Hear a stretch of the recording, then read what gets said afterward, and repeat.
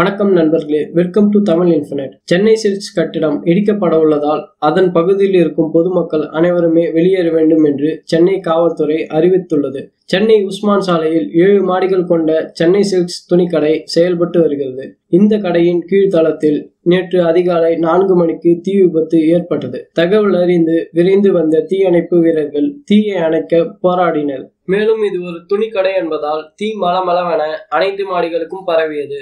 இன்று அதிகாலை மூன்றரை மணி அளவில் ஆறு மாடிகளும் இடிந்து விழுந்தது. இருந்தாலும் தீ எரிந்து கொண்டேதான் இருந்தது. தீயணைப்பு வீரர்கள் இன்று காலை தீயை கட்டுக்குள் கொண்டு வந்தனர். இதையடுத்து அமைச்சர்கள் ஜெயக்குமார் உதயகுமார் ஆகியோர் ஆய்வு மேற்கொண்டனர். பின்னர் செய்தியாளர்களிடம் பேசிய அமைச்சர் ஜெயக்குமார் இரண்டு மணி நேரத்தில் கட்டிடம் இடிக்கப்படும். இதற்கான செலவுகளை சென்னை சில்ஸ் நிறுவனத்திடம் பெறப்படும் என்று தெரிவித்தார்.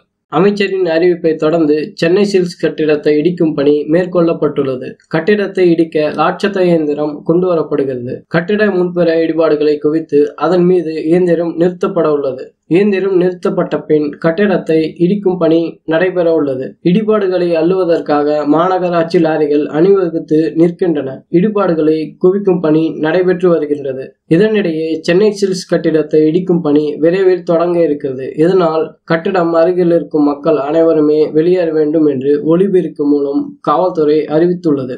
மேலும் இது போன்ற பல தகவல்களுக்கு மறக்காமல் தமிழ் இன்ஃபினட் சேனலுக்கு சப்ஸ்கிரைப் பண்ணுங்க. நன்றி.